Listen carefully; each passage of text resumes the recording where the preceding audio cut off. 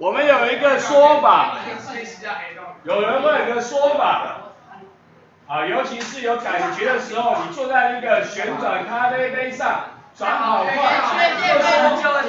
你就说，哎，我有我有受到一个很强的离心力，不对，离心力这个力是不存在，不存在，是那个人不晓得自己在做圆周运动。我手上拿一个，我手上拿一个球转圈圈，球上有个小人，他觉得我被里面的拉力拉到里面去，可是他没有动。牛顿告诉他说，没有动表示合力要是零。虽然说那表示我受到一个向心力向外，跟我这个力量就对不起离心力向外，跟我的向心力就互相抵掉。这是因为他没有搞清楚。他如果知道自己在转圈圈，他就需不需要这个离心力了？不用，所以离心力是一个假想力，然后呢，假想跟它平衡，这个力事实上是不存在的。所以这个人如果能够理解，如果他能够理解他在做圆周运动，他不需要用到离心力来解释。可是这个想法对一般人而言很好用。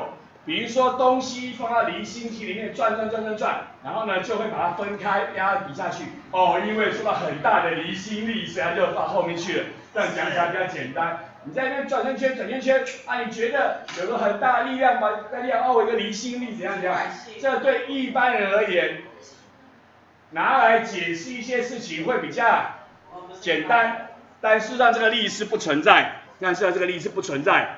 啊，只是有时候对普通人解释像的时候觉得比较好用而已。那向心力跟离心力是不是作用力跟反作用？刚才你讲哦，那个人觉得他受个离心力向外，又受个向心力向内，啊，所以他们就不会动，哎呀，他们觉得很安全，符合牛顿一。那那这个它是不是像作用力跟反作用力？为什么是？为什么不是？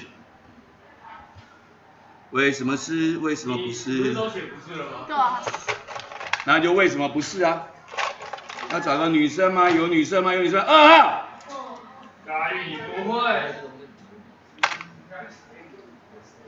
为什么不是？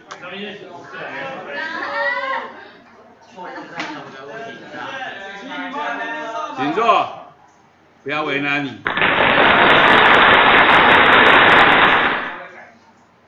假想有离心力存在的时候，它作用在同一个物体上，然后互相平衡掉。可是我们，可是我们前面讲过，作用力跟反作用力会不会平衡？不会，它不作用在同一个物体上。然后实际上你根本没有离心这个力啊，根本没有离心这个力。所以就算你要制造出一个离心力，这个力也不是跟向力、向心力同为作用力，或者跟反作用力，它是。